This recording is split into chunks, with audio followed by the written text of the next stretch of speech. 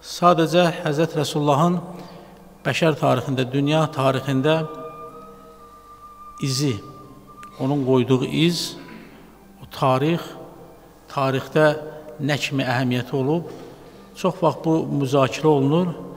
Həzrət Rəsulullah həm öz dövründə, həm bugünkü dövründə, yəni həm cismən insanların içində olanda və bu gün ruhən də insanların içində olanda heç fərqi yoxdur.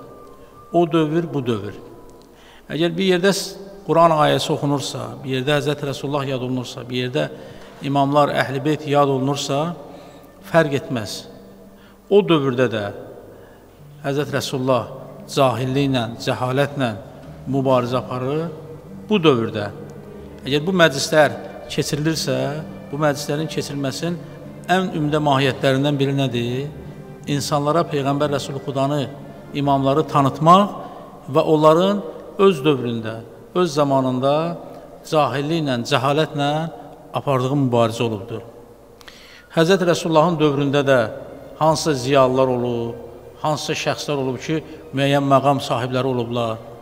Bilirsiniz, Peyğəmbər Rəsulxuda sallallahu əleyhi və səlləm peyğəmbərliyə məbus olduqdan sonra insanlar arasında bir qısqanclıq yarandı. Bəziləri özünü ziyalı bilirdilər, bəziləri özünü zamanın qəhrəmanı bilirdilər. Onlarda qısqanclıq nə idi? Onlar peyğəmbərimiz peyğəmbərliyə kimi hamı ona əmin deyirdilər. Hələ peyğəmbərliyə məbus olmamış insanlar arasında əmin adı ilə məşhur idi. Demək olar əminin nə olduğunu, düzgün insanın nə olduğunu, əmanətə sahib olmaq, xəyanət etməmək nədir, onu bilirdilər. Məsələnin ən çətin yeri bilirsiniz haradır? O ki, Həzrət Rəsulullah özünü Allahın rəsulu elan etdi. Buyurdu ki, mən Allahın elçisiyəm, mən göndərilmişəm sizin üçün. Quran-ı kərimdə bir neçə yerdə Həzrət Rəsulullahın adları keçir və bir neçə mənada.